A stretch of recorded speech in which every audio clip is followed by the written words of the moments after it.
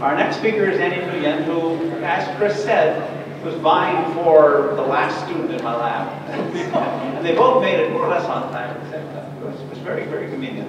Got everything signed off, in under the wire, and off into the real world, so that, that's a positive thing. So Andy's your, going to be your speaker right now. Um, not this Andy, but that Andy. And he, he decided towards the end of his career that research is okay, maybe not the best possible thing I can be doing my time. And he started investigating alternatives, and, and the Department of Pesticide Regulation has a big grant program and a management program that, that they run and, and, work with. He slipped right into that job perfectly well, well So he's, he came my lab, I think, as an undergraduate from Eng or something. Eng, it always makes me nervous because I had a whole bunch of chemical engineering roommates to college. And, uh, but I think it's probably okay. So Andy, go on.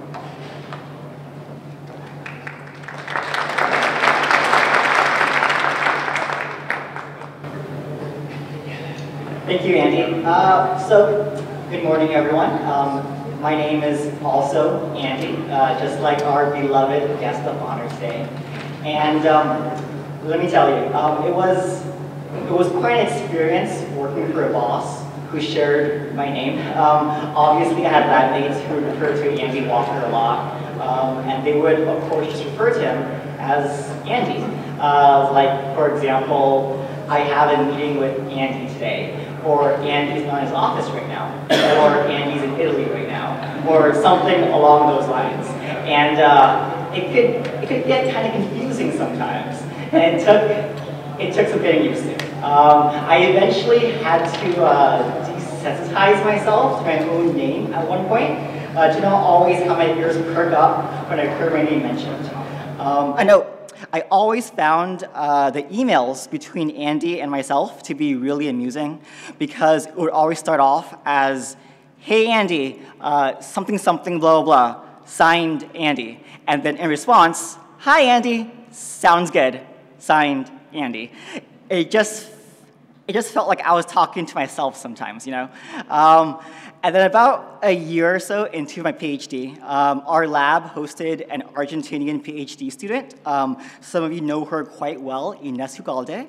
Um, so Ines had this uh, great idea to sort of distinguish between Dr. Walker and myself in conversation. Um, she was like, why not just call me Andy Viet Nguyen? Why not call me uh, Andito or Little Andy in Spanish? And we just keep Andy Walker as just plain Andy. Um, I personally didn't mind that, so it stuck. And so for much of my PhD years, I was Andito. Um, and even though I'm not referred to as Andito anymore on a daily basis, nor would I maybe want to for professional reasons, um, but uh, that that term of endearment um, will always bring me back to the great memories I have in the Walker Lab and the fond memories I've shared with many of the people in this room today. So speaking of memories, um, before I talk about my current work in California state government, um, I do want to reminisce a little about my history with, with Andy, uh, Big Andy, or just kidding, he isn't that big, I'm just, I'm just small.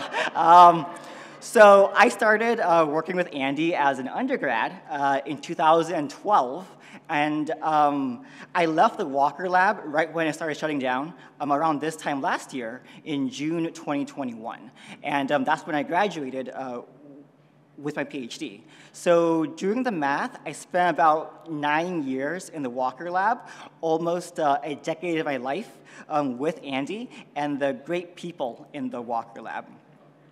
And I honestly owe Andy uh, so much. Um, and the funny thing is, uh, I felt like it was almost by sheer luck or, or chance that I met him and got started on this path. It's, it's a long story, but uh, I'll try to keep it short. Um, so as Andy did mention, um, I did my undergrad in chemical engineering and biochemical engineering here at UC Davis. Um, but as an undergrad, I didn't really quite feel that it was the right fit for me. Now, chemical engineering is a fascinating and very practical field. I know that our department chair, David Block, is a trained chemical engineer himself. Um, but for me, though, uh, the topics just weren't clicking well with me. Uh, so here I was in 2012 as a third year chemical engineering major at Davis, uh, lost and not knowing what to do with my life. Um, and so I randomly, I randomly took uh, an intro to winemaking course um, as a GE. Um, now, Andy was not the one who taught it, but uh, for the first time in my undergraduate career, I found an academic topic that actually caught my interest. And I just decided to just jump on the opportunity and just see where it would lead me. And uh, that led me to that led me to, to, discover that our campus has an incredible department of viticulture and enology, um, doing world-class research with amazing people and facilities. And I wanted in. I wanted to get some hands-on experience because for the first time in a while, I finally found something that I wanted to do. So I emailed a bunch of professors in the department telling them that, hey, I'm an undergrad outside the department, um, but I really want to get some hands-on experience with this stuff. Some professors responded, and said, sorry, we don't really have anything for you right now.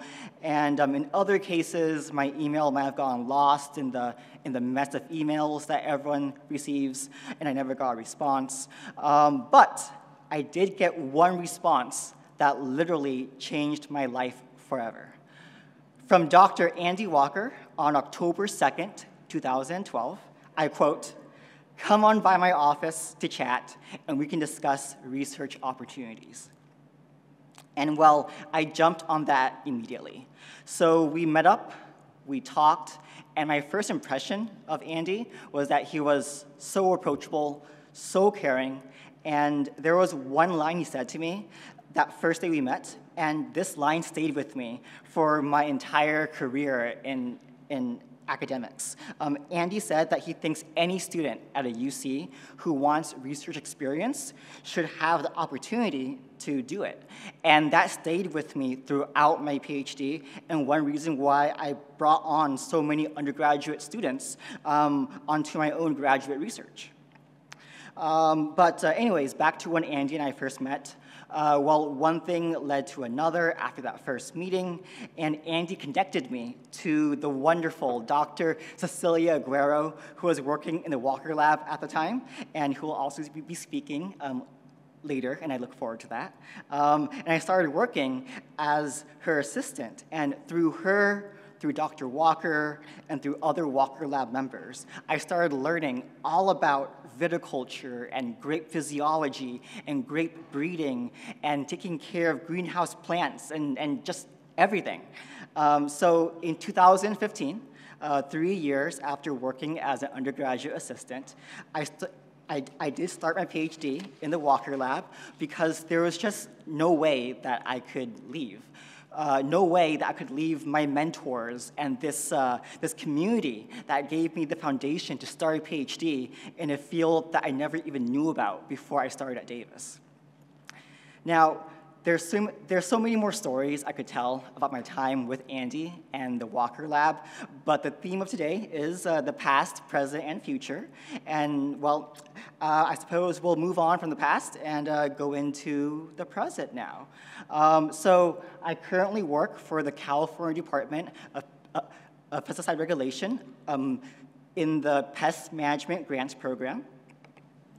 So one of our main missions in the Department of Pesticide Regulation, or DPR for short, is to protect human health and the environment by fostering safer and more sustainable pest management practices.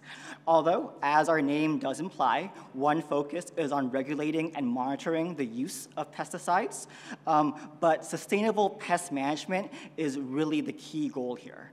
And of course, the work that Andy and the Walker Lab did does have a lot overlap um, here. Um, so grape breeding for pest and disease resistance is most definitely an approach towards sustainable pest management.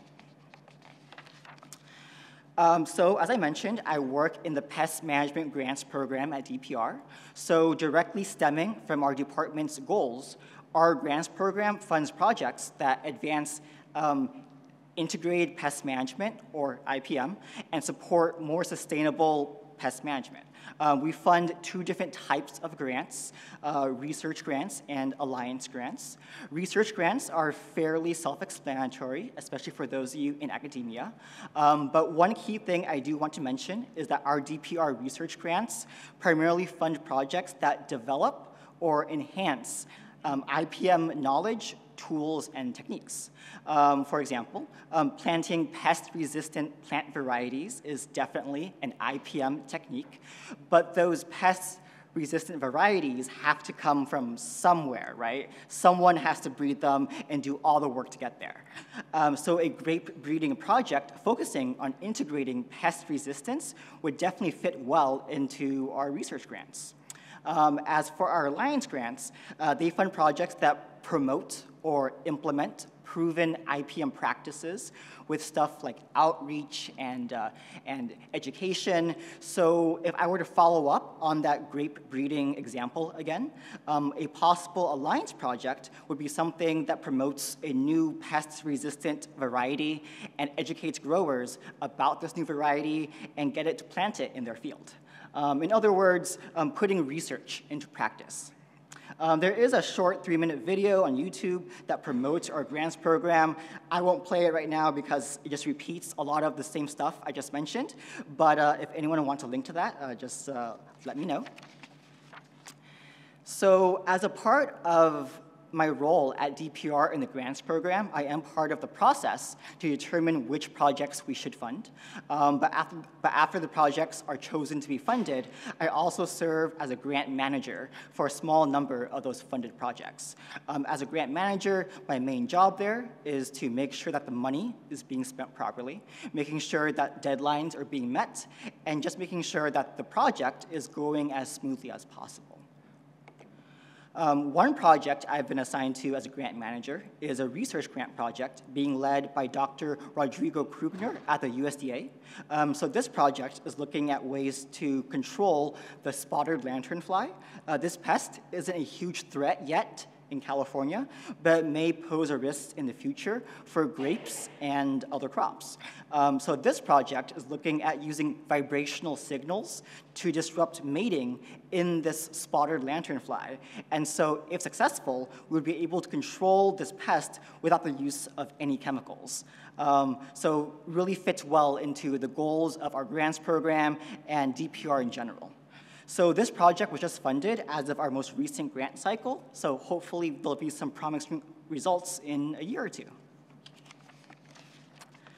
So moving on to uh, the future now, and maybe one of the most important takeaways from this uh, talk is that DPR has over $4.5 million in available funding this upcoming year to fund projects that advance IPM and support more sustainable pest management. Um, so if we were to split that money between the research and the alliance grants, we have a little over $3 million for research projects and $1.5 million for alliance projects. Um, we encourage anyone with relevant project ideas to submit a proposal. Um, as I mentioned several times before, plant breeding for pest and disease resistance is definitely a part of IPM, um, since it all leads into more sustainable pest management. Um, we anticipate our solicitation to open this summer, likely in July. So uh, if you're interested, please keep an eye out for that. Um, also, please feel free to check out our website. You can also just Google DPR. Um, Google DPR grants, and our pest management grants website will pop right up. Um, from our website, you can also check out um, previously funded projects to get an idea of what we funded in the past. Um, also, feel free to just email me with any questions you may have um, with the process. So I just want to end off by saying that the future of viticulture requires IPM methods, and grape breeding for pest and disease resistance is just one of those many methods. And we at DPR would be happy to help support that work. Thank you so much. And again, I'd be happy to answer any questions over email, or feel free to just check out our website. Thank you.